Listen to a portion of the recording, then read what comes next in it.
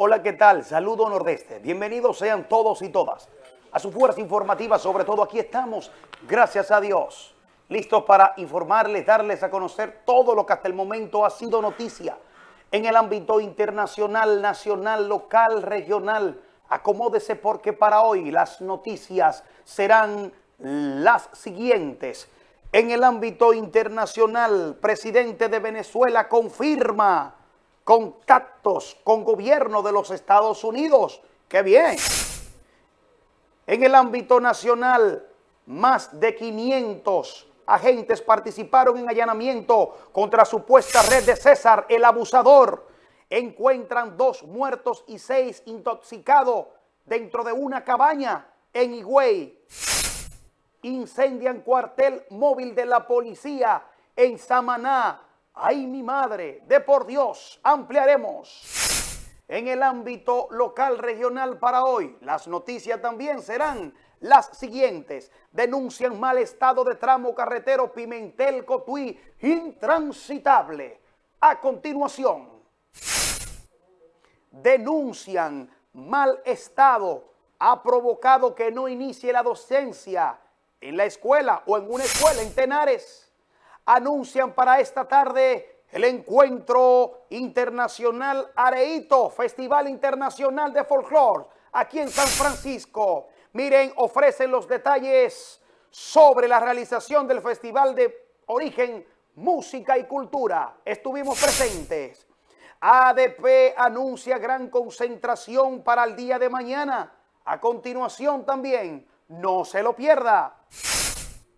Arrestan en San Francisco de Macorís implicado en la red criminal de César, el abusador. ¿De quién se trata? Ampliaremos. Asociación de Fiscales en esta ciudad protesta en demanda de diversas reivindicaciones. Estas noticias y otras serán ampliadas al regreso. Acomódese. Ya inició la fuerza informativa sobre todo.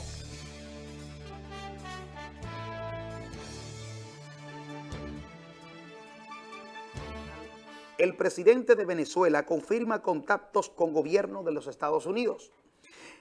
Así lo dijo Nicolás Maduro, quien confirmó que tiene contactos entre su gobierno y altos funcionarios de Washington, avalando las declaraciones ofrecidas más temprano por su homólogo estadounidense Donald Trump. Veamos entonces, ¿verdad? Eh, al momento de pronunciarse el mandatario de Venezuela, una información que a nuestro entender resulta un poco contradictoria, pues más adelante en el transcurso de la misma le diremos por qué, ustedes estarán dando cuenta de por qué le hemos dicho de la contradicción al momento del mandatario venezolano expresarse y dar esta información. Pues todos conocemos lo que ha sucedido recientemente, eh, principalmente que no hay un lazo estrecho entre los Estados Unidos y Venezuela. Al contrario, durante todo este tiempo, estos años que Venezuela ha estado enfrascada en este proceso de crisis, y donde la izquierda ha llevado la voz cantante, Estados Unidos también ha estado en su contra. Veamos entonces a Maduro. Adelante.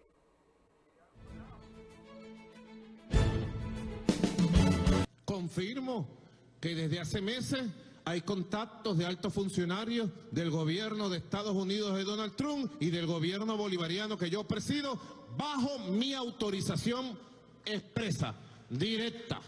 Si el presidente Donald Trump algún día quisiera hablar seriamente y hacer un plan para regularizar y resolver este conflicto, estamos preparados siempre para dialogar. A propósito de ese diálogo que dice Nicolás Maduro, sin embargo, Diosdado Cabello, quien es un alto funcionario del gobierno de Nicolás Maduro, dice que es mentira que se reuniera con el gobierno de los Estados Unidos. Y por eso le decía que hay una contradicción total.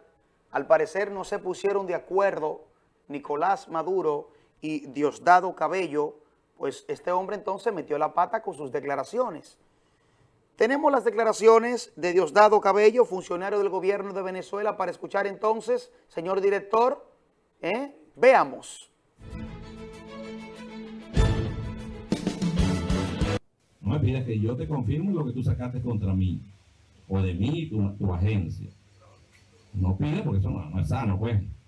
se ve como que la agencia quiere que yo legitime lo que sacó la agencia. Una mentira, una manipulación. No, no me pidas eso, por favor.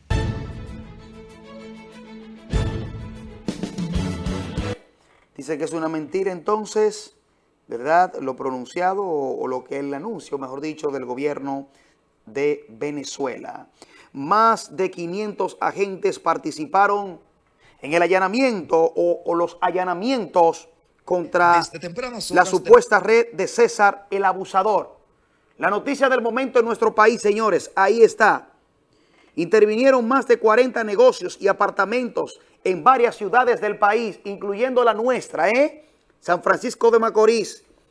Así que vamos a escuchar entonces, señores, a este hombre que se considera, ¿verdad?, conformar parte de uno de los cárteles y de encabezar en República Dominicana el liderazgo en el tráfico de cocaína. Y miren los negocios, las torres, las propiedades que son de César el abusador, como se le conoce, señores. Vamos a escuchar un poco entonces las declaraciones del Procurador General de la República. Adelante. Durante meses, el Ministerio Público y la Dirección Nacional de Control de Drogas dieron seguimiento cercano y silente a esta estructura criminal para identificar a sus miembros, sus actividades delictivas y recolectar las pruebas para preparar un fuerte expediente judicial contra sus miembros. Los resultados de esta investigación arrojaron que el principal líder de esta organización criminal era el narcotraficante César Emilio Peralta, también conocido como César el Abusador. Por más de dos décadas, este peligroso individuo ha estado involucrado en el negocio de las drogas en nuestro país y Estados Unidos, iniciándose como miembro de las organizaciones criminales de conocidos narcotraficantes del pasado, como Rolando Florian Félix, Pascual Cordero Martínez, Arias del Chile. Señores, ahí vemos el momento en que las tropas mixtas para buscar y dar con el paradero y donde se realizaron los allanamientos en las propiedades de César Augusto, mejor conocido como César el Abusador. Vemos que se han producido algunos allanamientos en varias ciudades del país, incluyendo la nuestra, donde más adelante tendremos información. Mírenlo ahí en la discoteca Praga, en Acuba también son bares ya de la capital dominicana que se dice que son propiedad todas de este hombre. Se le adjudica también un sinnúmero de torres en la capital de la República Dominicana y de otros negocios. Mírenlo ahí. Ese es César Augusto, o mejor conocido como César el Abusador, el hombre más buscado en República Dominicana y considerados en los actuales momentos como el narcotraficante número uno del país ya, lo que tiene que ver con el tráfico de cocaína. César el Abusador, se le conoce también como el rey de la cocaína, señores. Increíble. Continuaremos dándole seguimiento a esta información y más adelante, vinculado a esta información, le diremos qué pasó aquí en San Francisco de Macorís en la mañana de hoy. Más adelante, no se lo pierda. Miren esto, ¿eh? ¡Wow!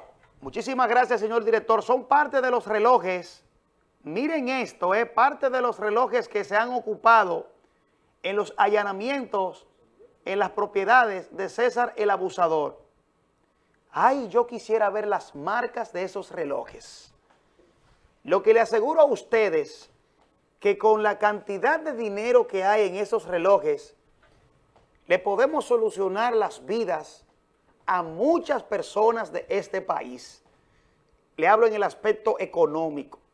La cantidad de relojes que hay ahí y lo que cuesta eso, me soluciona mi vida económica, la de mi familia y la de usted y la de usted y la de usted y la de usted, para decirlo así. Porque le estoy hablando de relojes que cuestan miles y miles de dólares. Miles y miles de dólares, señores. No podemos, ¿verdad?, percibir, bueno, ahí vemos quizá por el diseño que se trata de un Invita, este que está ahí, que tiene la, eh, la puca de color azul, pero después imagínense ustedes lo que eso cuesta. ¡Wow! Gracias, señor director. Miren, en otro orden una noticia que ha conmovido, que ha caído muy mal en el ámbito nacional es que encuentran dos muertos y seis intoxicados en una cabaña en Higüey. El video ha estado circulando en las redes sociales, las imágenes son muy fuertes, pues se notan todos los cuerpos como están tirados dentro de la cabaña. Nosotros hemos querido difuminar la información, gracias también a Noticias SIN. Dos menores de edad murieron, presumiblemente asfixiados por monóxido de carbono u otras sustancias en el interior de una cabaña en Higüey, mientras que otras cinco personas que les acompañaban están ingresadas en el Hospital General de la provincia de la Altagracia. Entre ellos hay tres menores y dos adultos que están detenidos en el mismo centro de salud. En estas condiciones fueron encontradas las personas alrededor de las 7 de la mañana cuando los trabajadores de la cabaña Copa Caribe se, se dieron cuenta que aún no habían salido de la misma. Vemos los restos de esta menor que murió y vamos a ver, adelante.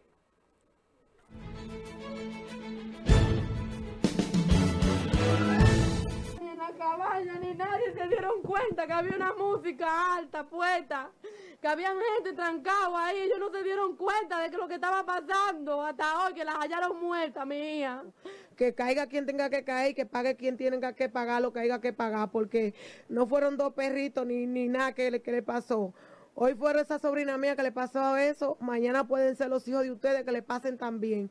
Soy la trabaja normalmente y cuando llegue del trabajo, cuando me estaba en el trabajo, me informan que, el niño está en el hospital. Cuando llegó al hospital me dan información que está en la funeraria y él llegó en la funeraria y ya se lo habían llevado para San Pedro.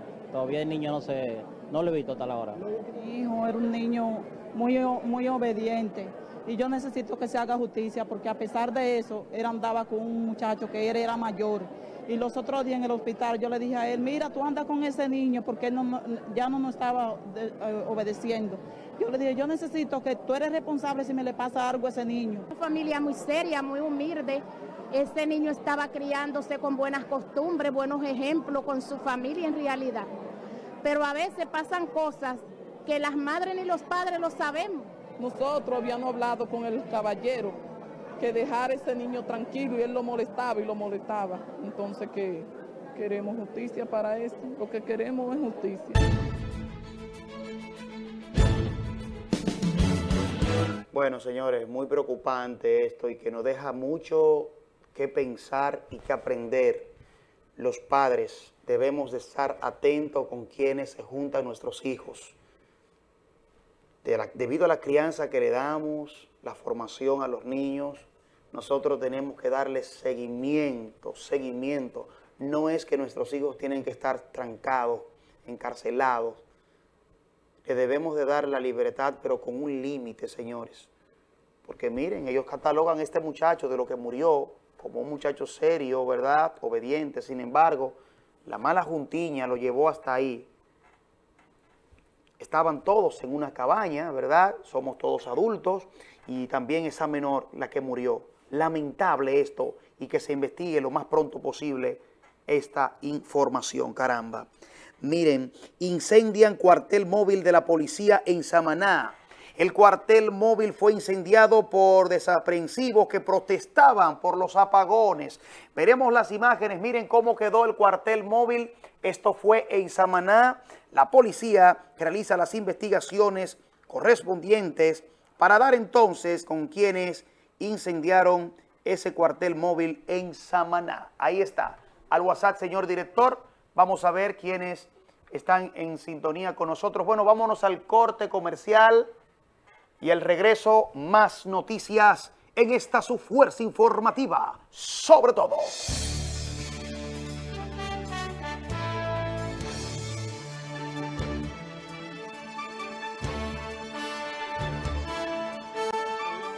Vamos a Pimentel, donde por allá choferes están denunciando el mal estado de lo que veremos a continuación. Miren esto, intransitable, señores, intransitable, ¿eh? Tramo carretero Pimentel-Cotuí. Miren esos charcos de agua. ¡Ay, mi madre, por Dios! ¿Hasta cuándo, eh? Veamos.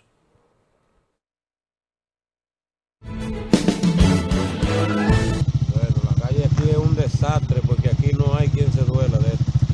¿Tiene mucho tiempo así? Sí. Tiene más de 10 años así esto. Que no sirven. Son un desastre. ¿Tiene mucho tiempo así? Oye, la vida entera. En la ocasión que la veo está muy destachalada.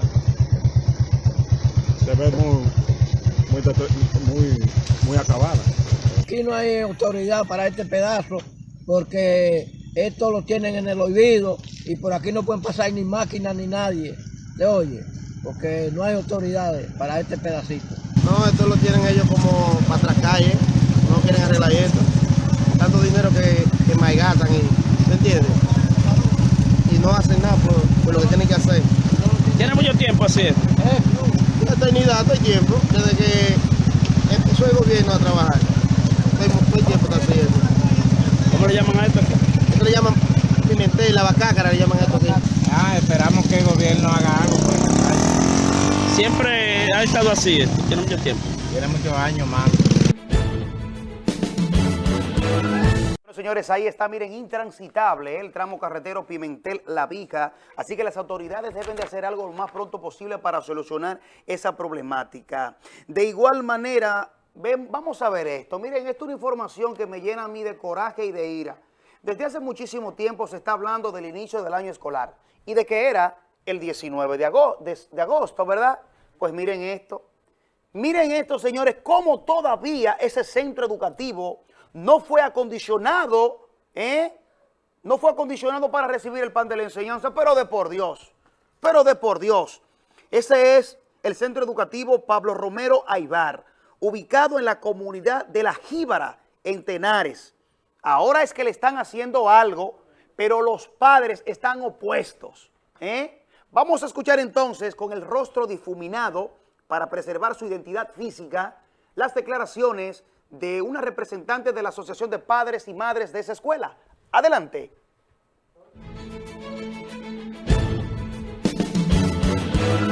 Las clases no iniciaron como tenía que ser por la situación de nuestra escuela. Nuestra escuela no sirve para nada. Tenemos cinco años en espera de la escuela y no nos la entregan. Quedaron de entregárnosla hace un par de meses, en mayo, no nos la entregaron. Y nosotras, la directiva de la MAE, entramos en un acuerdo que si no le entregan la escuela equipada de un todo, los niños no van a asistir a la escuela, porque los niños aquí en esta escuela no pueden recibir ninguna clase. Entonces, mientras no nos, de, no nos la entreguen equipada de un todo, los niños no van a asistir. ¿Qué le han dicho el director de distrito, las autoridades? ¿Qué le han dicho? ¿Por qué no le entregan? ¿Por qué no termina la escuela? Yo misma digo que eso es por falta de diligencia. Porque si se han puesto, hace tiempo que se cuidan, no lo habían podido entregar. Y los niños ya han estado recibiendo su clase, como están en los otros centros, ya lo están recibiendo. Ya aproximadamente estamos en los puntos finales, aproximadamente como un 85%. Eso solamente nos está faltando el último desembolso para culminar con la ejecución del proyecto.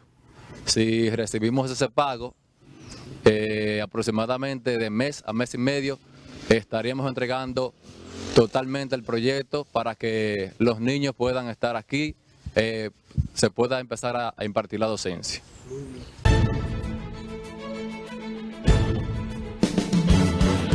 Bueno, señores, ahí está. Incomprendible esa situación. Tanto tiempo que teníamos para solucionar esto y miren ahora cuando inicia el año escolar es que están haciéndole algo a esa escuela, de por Dios. Miren, señores, para esta tarde se anuncia aquí en San Francisco de Macorís el encuentro internacional Areito. Así que diversas delegaciones de países de Latinoamérica se estarán aquí en San Francisco de Macorís en el día de hoy. Ahí vemos a Colombia, eh, Panamá, Chile, bueno, entre otros países, que está Honduras, ya se están reuniendo en el Salón de Actos del Ayuntamiento Municipal. Ahí vemos las imágenes. Y esta tarde será la gran actividad en la Universidad Autónoma de Santo Domingo. República Dominicana de Paraguay, entre otros países, estarán presentes hoy. Vamos a ver lo que nos dice nuestra amiga Wendy, eh, quien es parte del equipo coordinador de este gran encuentro Areito Festival. Adelante. Esta actividad es nombrada Areito Cultural 2019. Es una actividad promocionada por los países como Panamá, Uruguay, México, Colombia. La intercambiar nuestros saberes culturales, nuestra esencia, lo que somos. Y esta vez la República Dominicana es sede de esta actividad. Tendrán tres grandes encuentros aquí en la provincia de Duarte, San Francisco de Macorís, en Santo Domingo y en Santiago. Nosotros somos el comité gestor de esta actividad y somos parte también del comité y del grupo América Cultural. Chulo, porque San Francisco de Macorís hoy se siente un ambiente cultural, folclórico, y es que el Festival Origen de Música y Cultura se estará realizando también en el mes de septiembre, del cual nosotros formamos parte y en el día de hoy estuvimos ofreciendo los detalles de este magno evento que se llevará a cabo aquí en San Francisco de Macorís. Ahí está el momento en el que en el día de hoy ofrecíamos la rueda de prensa a los medios locales para darle a conocer parte de lo que será el Festival Origen de Música y Cultura. Vamos a escuchar entonces, ¿verdad? Parte de lo que dimos a conocer en el día de hoy ante los medios. Adelante. Origen 22 de septiembre, de 10 de la mañana a 9 de la noche, frente a Telenor, ¿verdad? Iniciará con actividades eh, diversas, eh, simultáneas, y otras que se irán sumando en transcurso de la mañana, eh, entre, entre, las que tendremos un área infantil, gracias a nuestro hermano, ¿verdad? Corombolón, con su parque inflable, habrá actividades de juegos tradicionales, como son corridas de saco, como son eh, palo encebado y otros tipos de competencias que pertenecen ¿verdad? A, a nuestro folclore. Eh, también otras actividades de formación como son talleres en el área de teatro, construcción de máscaras, construcción y toque de atabal. Igualmente, ¿verdad? Se bailará palo mientras se, se construyen. Eh, también otras actividades de carácter literario, y, y, otras actividades que tienen que ver con, con, nuestras tradiciones eh, dominicanas populares. Cuando supimos de la idea con este equipo que está a mi izquierda, de lo que era el festival, pues antes de concluir, Vladimir García de la introducción, Daco y el compadre Vladimir Paula, pues dijimos que sí porque nosotros en nuestro interior somos compromisarios de este tipo de eventos. En la parte de la, de la, música tradicional estarán los Paleros de las Guasumas, una agrupación que tiene ya casi 60 años tocando música tradicional dominicana, los, plane, los Paleros del Platanal, y estará para el gran cierre El Prodigio. El Prodigio estará cerrando ya la tarima, eh, eh, sería el último show, y, la gente va a, lo largo del día en el festival, no solamente a educarse, no solamente a reforzar eh, elementos identitarios de su cultura, sino también a disfrutar de una muy buena música, de un muy buen espectáculo, totalmente gratuito. Festival Origen de Música y Cultura, domingo 22 de agosto, de septiembre aquí mismo frente a Telenor, no se lo pierda, señores, porque tenemos un gran cierre también, ¿eh? Nada más y nada menos que con el prodigio, aparte de todas las agrupaciones artísticas que estarán en escena. Miren, en estos momentos voy a conversar con los parientes de Alexis Hernández Roja. Alexis fue ultimado a tiros en la calle 4, esquina Emilio Bienvenido Fuerte Estuarte del sector San Martín, aquí en San Francisco de Macorís, y se le adjudica esta muerte nada más y nada menos que al joven conocido como Henry. ¿Eh? Henry Peralta Brito. Henry Peralta Brito. Buenas tardes tanto a Lucinda Altagracia Bello, mejor conocida por nosotros, ¿verdad? Como Ñaña. Ñaña, la conocemos. Y a Marieli Vázquez Brito, viuda de Alexis. El motivo de ustedes que le trae por aquí, ¿qué es lo que está pasando? ¿Henry está preso, sí o no? ¿O qué es lo que ha pasado? Explíquenme. Sí, él está preso, pero no estamos conformes con la decisión de los jueces, porque él no estaba para una fianza, porque él no tiene el año todavía preso, porque él mató a Lacey el 13 de julio y a él lo agarraron el 25 de agosto en una yola en Boca Chica. Entonces, a él no le pueden dar una fianza antes del año. Aparte de eso, de la fianza, ¿qué nos garantiza a nosotros que él no vuelva a coger otra yola? Porque él es, una, un prófugo de la justicia. Y nosotros queremos aclarar que él sí mató a mi sobrino, porque él sabía que Alessi era su objetivo. Porque en la hora santa de la mamá de la esposa de él, él le fajó a tiro a Alessi.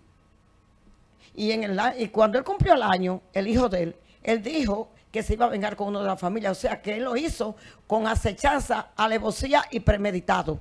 Bueno, en- entonces dime algo, Marieli, ¿cuál ha sido la fianza de él?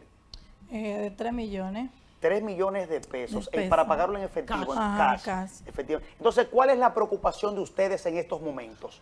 No, porque por- eh, nosotros tenemos miedo, eh, porque si sale va a buscar más venganza. Miedo de que ¿entiendes? se fugue, ¿ok? de que o- se De que se de que- fugue de que se fugue y que él no, y que él no cumpla lo, lo- la- lo que le están haciendo aquí la justicia, que él no cumpla, porque él no va a cumplir, porque lo que quiere es salir para hacerse del país. Claro es que no va a pasar por el aeropuerto, porque ya lo agarran en una yola.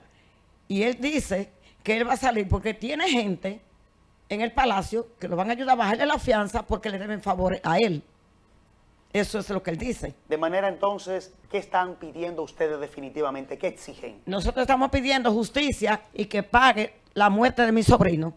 Bueno, ¿algo más entonces, Marieli, verdad, que agregar a esto? No, yo quiero que se haga justicia porque pues, yo tengo un niño de, de tres años que era de...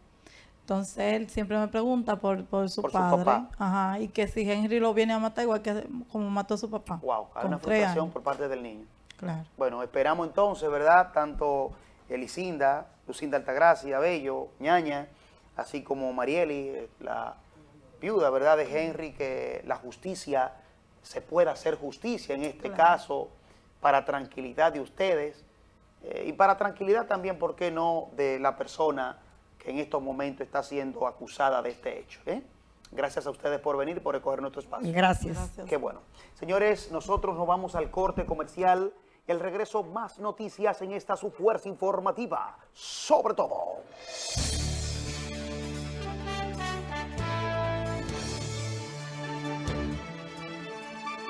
La ADP anuncia para mañana una gran concentración. Inició la docencia y con ello la ADP también inicia el proceso de lucha. Lo que da a entender, ¿verdad?, que mañana no hay clase. Escuchemos entonces a Sisto Gavín. Adelante.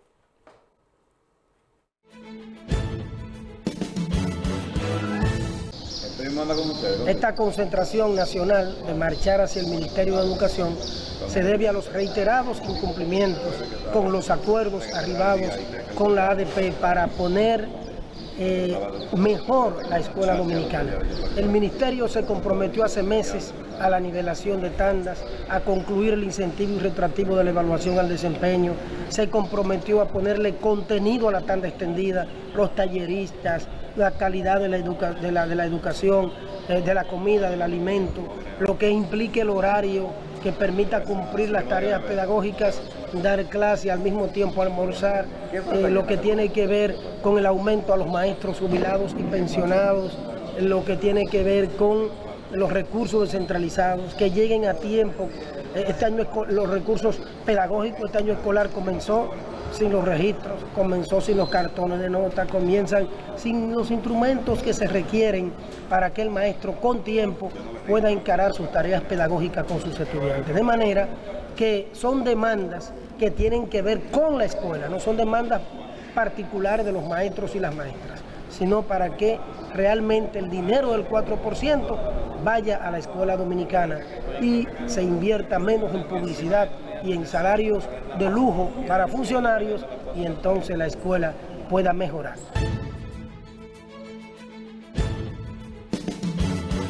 Bueno, señores, ahí está, concentración mañana de la ADP.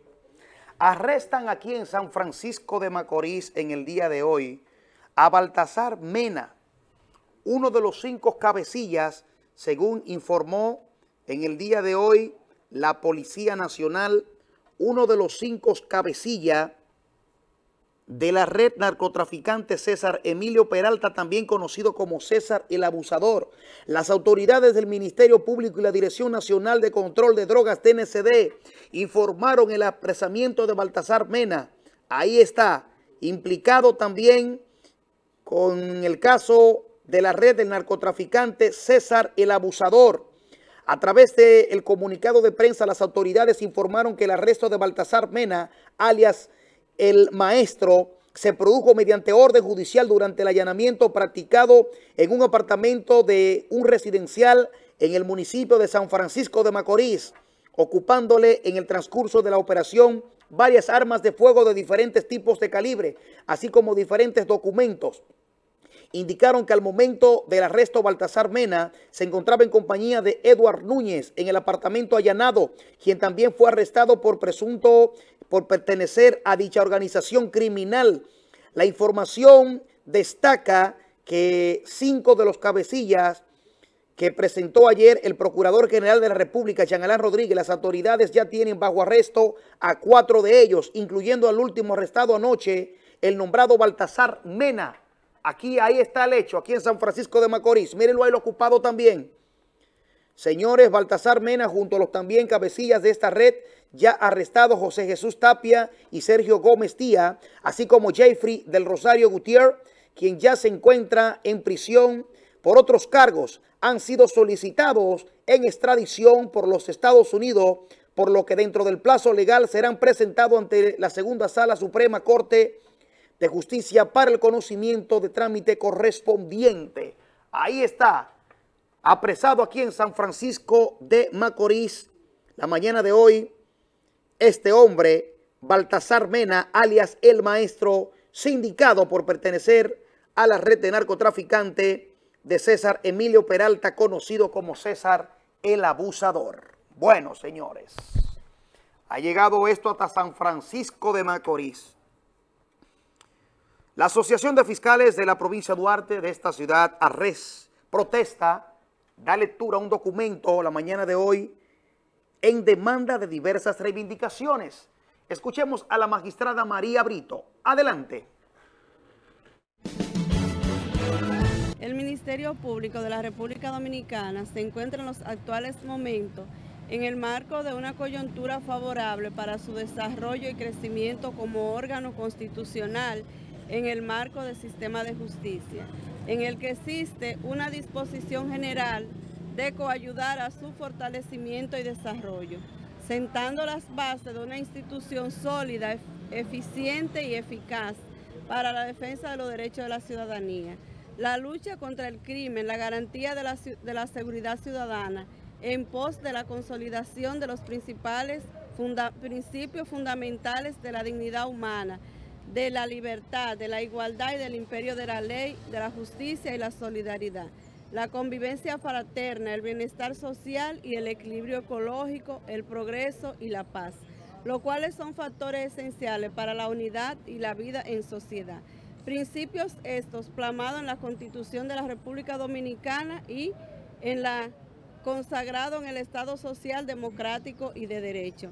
Es la justicia un instrumento mediante el cual se mide el desarrollo de las sociedades y su efectividad garantiza que todos los ciudadanos reciban de manera equitativa un trato igualitario y justo. Está la posición de la Asociación de Fiscales en San Francisco de Macorís, la lectura de ese manifiesto. A ustedes, gracias por habernos permitido llegar hasta sus hogares. Bendiciones. Feliz resto del día.